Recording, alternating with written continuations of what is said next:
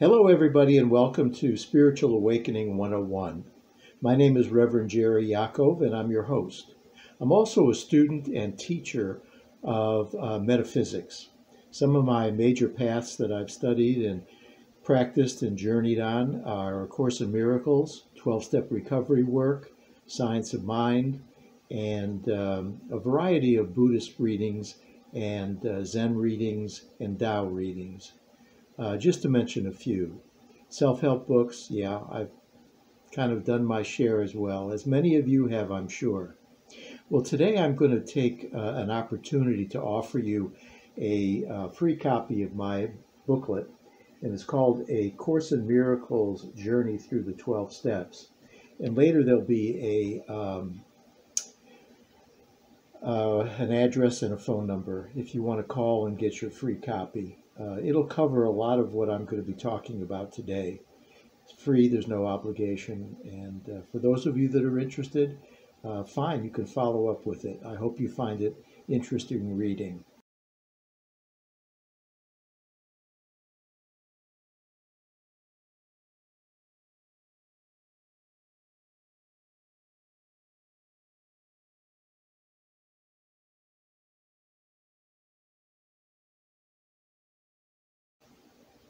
Well, the first thing I want to say uh, really is that this is not a religious program. Uh, religious programming, I'm sure, has its place.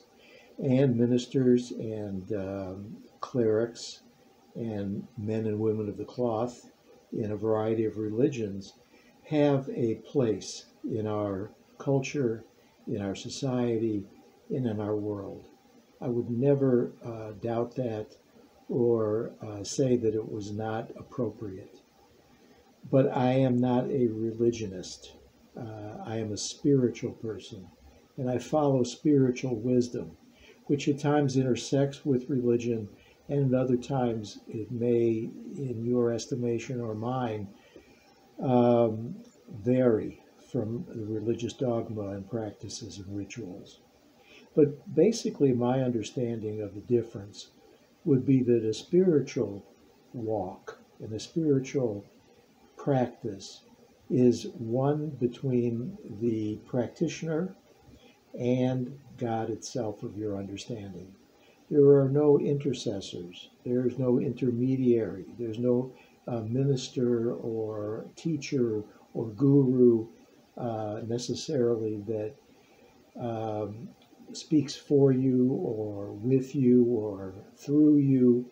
You are in direct contact with the heaven of God within you. And that is the message of Jesus, the master teacher. He said that the kingdom of heaven is within you. And uh, all you need is your belief. Your belief will set you free because it's the truth. If you have a direct experience of the God of your understanding, of a loving, precious, um, perfect God, perfectly uh, all intelligent, all present, all powerful, um, then this is a spiritual path. Now you can concurrently uh, practice religion with that as well. If you like the ritual, if you like the readings, if you like uh, some of the, and I don't mean this in a pejorative way, the bells and whistles that go along with it uh, again, th- that's always our uh, choice. And I'm in no way minimizing or in any way uh, criticizing. No, okay, so the difference between religion and spirituality, that out of the way, this is a spiritual program right here. This is a, uh, a video about spirituality and metaphysics, new thought. Okay, uh, the first thing I want to talk about after that distinction is when do people generally move into a mode of spirituality? I think it's important that we recognize our tolerance for pain. Being in the world, there are so many challenges, so many uh, ways in which one's mind, one's psyche, one's body even uh, can be threatened if you will. Uh, the world is uh, an interesting place. It can be a classroom. It can be a place where we learn and we get closer to our higher power. But if taken on its face alone, without the spiritual element, the world is a cold and lonely place based on the thought of attack and ego. That's the teaching that I come from. The ego does project images into a world that seems separate from both God and ourselves, and they appear threatening. They appear uh, to not have our best interests at heart. One of the nicest sayings that I came uh, into contact with at the beginning of my spiritual walk was trust the process. And I had to really learn to do that because I didn't trust the process. I equated the process with the world. And I had long since earlier become very suspicious and cynical. And I didn't trust the world. And now I was being asked in a metaphysical, spiritual realm to trust the process, to trust the God of my understanding for healing and guidance. And to this day, uh, my resistance comes up to the trust. However, in my heart, I know that it's true. The universe is a loving, trusting place, trustworthy place. Why? Because anything that's of God directly, and the kingdom of heaven is within our hearts, that I can trust. Somebody outside of myself, that's another story entirely. And what they may be calling for is my compassion, my forgiveness, my loving kindness.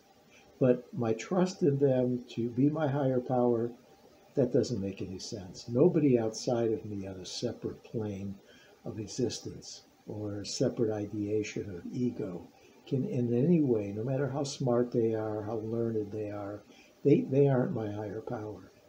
I trust the process within. I trust my intuition. I trust that radar that we all have of spirituality. Well, okay. Um, so I mentioned our tolerance to pain. Although the tolerance to pain is great, I believe that it does hit a, a breaking point where we say, I'm sick and tired of this pain, and I'm sick and tired of being sick and tired. And there must be another way. When we acknowledge that there is another way, and we open to that wisdom, we then look within there's some um, inner mechanism, an instinctual mechanism, a gravitational pull, to use, you know, a term of physics, gravity, that pulls us towards our higher power, which is within our minds and our hearts. And we no longer look outside of ourselves to false idols. Uh, false idols, as I've talked about many times, can include people, places, and things look for yourself at your own inventory. What have you been bowing down to and thinking that it will save you, give you peace and harmony and serenity? You'll find that it just isn't possible and it's not true. Excuse me, I'm going to cut this off.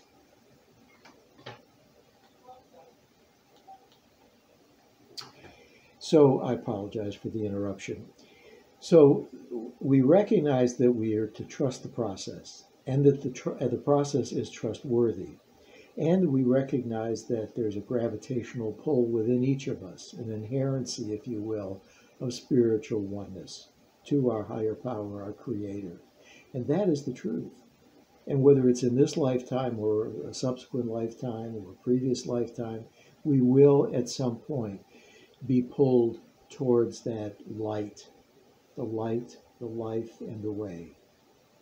Well, a little bit of my own story, uh, at least as I remember it in this lifetime. Uh, I was an only child, born to uh, lower middle class parents. We always suffered and struggled financially. And that became uh, one of the lenses that I looked through uh, in growing up and then becoming an adult. For me, money was scarce. And I even remember my parents saying to me, rich people had to sacrifice so much, especially their health, to achieve their wealth. And uh, I really believe that if one became wealthy, you had to sacrifice your health. Long hours, stress, uh, probably a lot of the ambition and backstabbing that I already saw in school. Uh, but I was drawn to that because without an alternative, what else is there but the world's uh, attractions? and the false idols. So for me, money became important, stature became important, and I became a professional. Went to graduate school and got a professional degree and a license uh, to practice my profession. And what I found was that I was miserable. You've heard this story, and I'm not going to bore you with my details because details really don't mean anything if they're egoic. They're false. But there were egoic, uh, there was an egoic storyline. And the storyline for me was I got to the point where the drug usage and the money uh, struggle and uh, the positionality for uh, other people's admiration, uh, you know, became too much on my psyche and on my spiritual um, oneness with God. It, it came to the breaking point where I needed another way, a better way. My parents, I'm not going to blame. Uh, they, God bless them, did not have a spiritual life. So they didn't exemplify that for me. My mother suffered from uh, what I would consider great uh, disabilities in her mental health and psychology because she didn't have the peace and serenity of God. And so what happens is that we project onto our loved ones uh, unnecessary protection, unnecessary smothering, unnecessary fears out of the name of love. Because I love you so much, I'm so concerned about you. Don't do this, don't go there, don't hang out with these people. Let me do this for you. Uh, you're too young, I'll take care of it. So, not letting a youngster such as myself grow into adult responsibility in a healthy, functional way, but rather in a toxic, dysfunctional way, uh, I became a dysfunctional adult. And that seeped into my relationships with uh, people, it seeped into my relationships with my profession, and with my health. Early on, I began to suffer from hypertension and uh, phobic fears. So it was both mental and physical. And uh, very difficult. Overweight, that was an issue at times. I would yo yo on my weight. All these are symptomatic of an underlying issue. And that, I believe, is always an unfit spiritual condition. When it's becoming fit, when one has a practice, and one has a, a way of relying on a power greater than themselves that's love, you can certainly begin to trust the process. And you can start to undo all of the false beliefs and all of the uh, programming that was so toxic and difficult. Uh, I began to let go of some of it, some of the false idols. I recognized that living simply, having all my needs met, certainly is, is okay. We all need our needs met while we're uh, in this world that we were in but not of. But I don't need lavish, uh, something lavish or a rich, you know, lifestyle of the rich and famous, uh, which is being sold to us constantly through television, movies, and commercials. What I realized is that there's a simplicity in the way of the Buddha. There's a simplicity in the way of the, the Jesus Christ there's a way in the simplicity of the Tao. And uh, all of the yogis and uh, really holy men and women were teaching that when you look within, you were provided with manna from heaven. Because the kingdom of, of heaven is within. And you don't have to chase with fear uh, for all the things outside to fill that God space. That God space gets filled very organically, very naturally when one's mind turns within and prays and meditates. And so that's what I started to do. And I began to, you know, become restored to sanity, which is a big part of the 12 step recovery programs. You recognize, first of all, that you've been in denial about the truth. And you say, fine, I recognize my life doesn't work. Now, what I'm going to do is turn to a higher power of my own understanding, and you'll be guided, whether it's the group, whether it's nature, whether it's some uh, abstract idea of love, of Christ, of Buddha, Uh, there's so many opportunities to find what resonates for you. And in my case, it was the Christ. I found A Course in Miracles, and that became my uh, book of wisdom and higher power. I also attended numerous, numerous fellowships of recovery in 12 step. And the recovery and the fellowship and the sponsorship and the literature also helped me to be restored to sanity through the wisdom of my higher power. So all this uh, then led me to the next step. And that's to begin to identify my own inventory. What is it that I have built up within my own mind that's keeping me from harmony and alignment with my higher power? That's keeping me from really knowing that the truth will set me free and that love, perfect love, casts out all fear. I wanted that so desperately.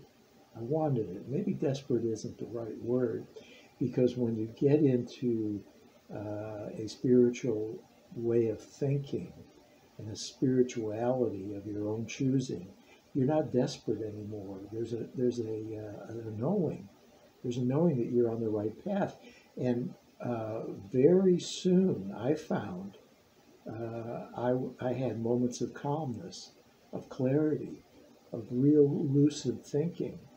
Uh, I was lucid in a way that I'd never been before. Sure, the baggage was still there. I was unpacking all of that baggage. And that's where the inventorying keeps coming in.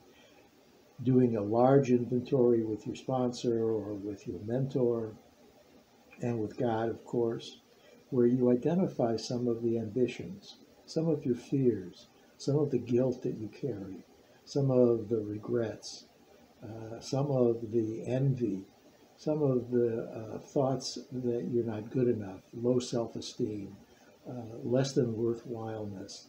All of these things started to come up for me to look at and then give to my higher power and humbly ask that God remove it. I certainly couldn't because I had dreamt them up. I had manufactured them. I had nurtured and, and uh, really uh, instilled them in my mind so deeply and so invested that I needed that higher power to reassure me that I was worthwhile, that all of the things I felt so guilty about and things that I didn't even know I was guilty about, it was a free floating anxiety. All of that became clearer and clearer as baseless, as not as God created me. And I was turning around more and more towards the uh, individual and the soul that God created me as, rather than the artificiality of that ego that I had um, made of myself and had replicated through my family of origin. So these are all, you know, ways to uh, become on the road less traveled. I love that expression. Uh, Scott Peck's book and, uh, and Scott Peck's uh, you know, a whole explanation. You know, there were two paths in the in the forest, and I uh, took the one ro- road less traveled. Well, that means the one where we look within to our minds rather than look outside for all of our nurturement. People, places, and things I knew could no longer uh, be the answer for me and fill that God space. God was within me and certainly already filled the space if I would awaken to it. One of the big uh, ways to do that was through love, forgiveness, and loving kindness. Practicing, as the Buddhists call it, metta, M E T T A. Uh, and as Christ said, forgive them, they know not what they're doing. These were all aspects of my recovery and my practical walk on the road less traveled. Uh, God presents everything it's brought up for me to look at with my higher power now rather than alone with my ego thinking. Ego, uh, edging God out is the acronym I like, means I'm alone looking at things and I'm coming to conclusions that I think are best for me, but that means that it excludes other people. It judges and is critical of other people. The Tao is famous for, you know, a very simple ideal, simple idea of no blame. The Tao practice is no blame. The ego practice is forever blaming, forever scapegoating, forever not being responsible and putting responsibility on others. So, again, all of these uh, readings and uh, philosophies and theologies and New Thought movement and Course in Miracles, uh, they all brought me to a place where I was further and further along on the road less traveled, which is recovery, which is a remembering of who and what I am. And I am as God created me. I am that innocent inner child that I care to take care of when I forget. That inner child needs me. That inner child is the Christ child, is the babe, is the sheep, is the is the uh, the child in the manger, is the Buddha under the Bodhi tree. That's the inner child. The inner child is lovable, loving, and loved completely, and one and inseparable from God itself, the Creator. Well, you go through these steps, as I call them, or phases. Uh, you start out in recovery or in uh, spiritual practice hurting very deeply. And that's when you come out of uh, denial because you're hurting so, so, so much. And you say, there must be another way. So the hurting phase. And then you get into the healing phase, which I've been describing with some detail, uh, my own walk uh, on the road less traveled through 12 step recovery, through A Course in Miracles. And again, I'm going to remind you there's this Course in Miracles uh, journey through the 12 step booklet that I have offered for you for free.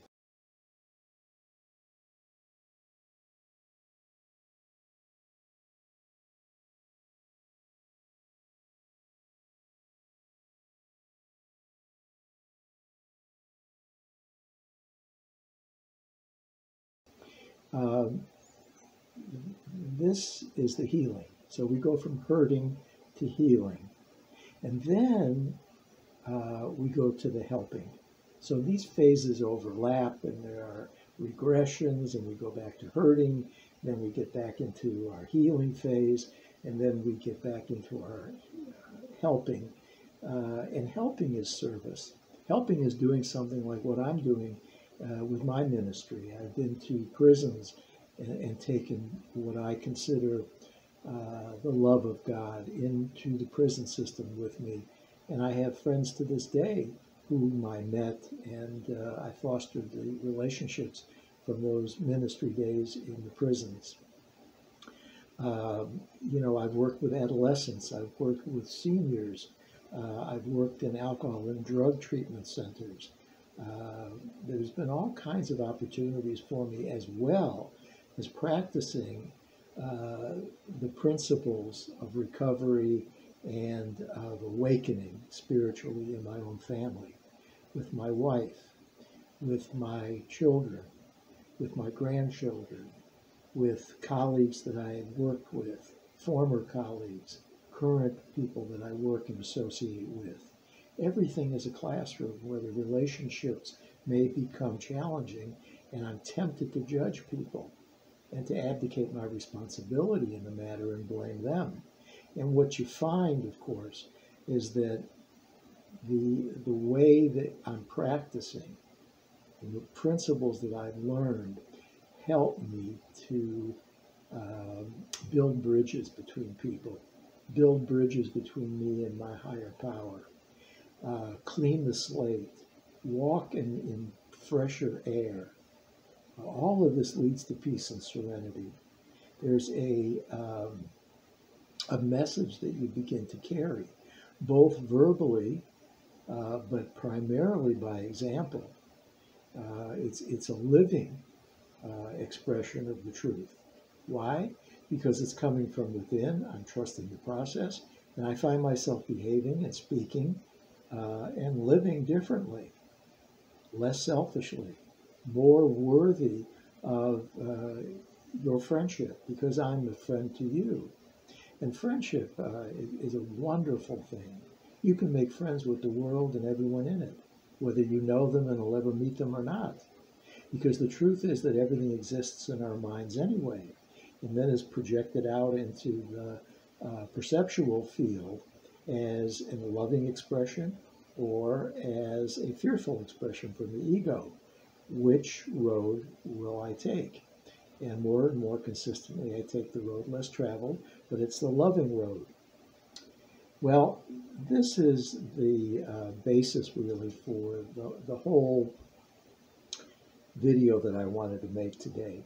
Uh, you know, just explaining my my travels, my practice, encouraging other people, uh, sharing this book with you. If you're interested and you contact us by phone or email. Uh, today's reading in one of the daily readers in one of the 12 step programs uh, is a wonderful way to close, I think. And that's uh, concerning service. It says, In our early recovery, we, we may have been skeptical, confused, angry, or sad.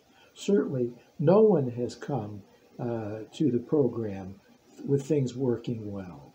A physical, mental, and spiritual bottom usually brings us to recovery. Well, we talked about that hitting bottom, uh, being sick and tired, asking for a better way. Well, when we come to our recovery meetings a few times, we may have caught a glimmer of hope that recovery may help us. After a while, we've asked someone for their phone number or have a cup of coffee with them to see if we might become fellow travelers. And that relationship is so important. As we reflect on those early days, we can only imagine what might have become of us had we not found recovery and the meetings. Our thoughts may turn to those whose lives are similarly affected, and we'd like for them to have the same opportunity for spiritual growth. So we decide to participate in the group's business meetings, where we get into the helping, hurting, and then uh, healing, and then helping, and accept a service role, and so on and so forth. And then it closes, it says, On this day, I recall my early days and the program I have made and the progress that I have made.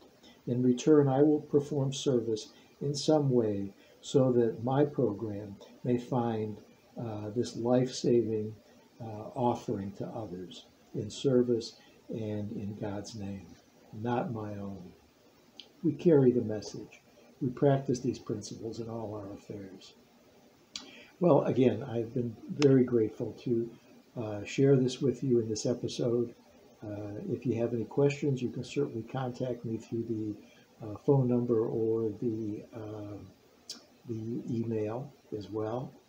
I want to thank the NECAT Network. I always thank them for putting the show on. Uh, you'll find us on YouTube and on Facebook. Uh, I'm trying to get the message out, uh, coming out of my shell and being in the helping phase as much as I can, along with my current healing uh, and less and less of the hurting. So, again, thank you so much for joining us. As we always close with namaste, shalom, and peace. And we'll see you next time. God bless.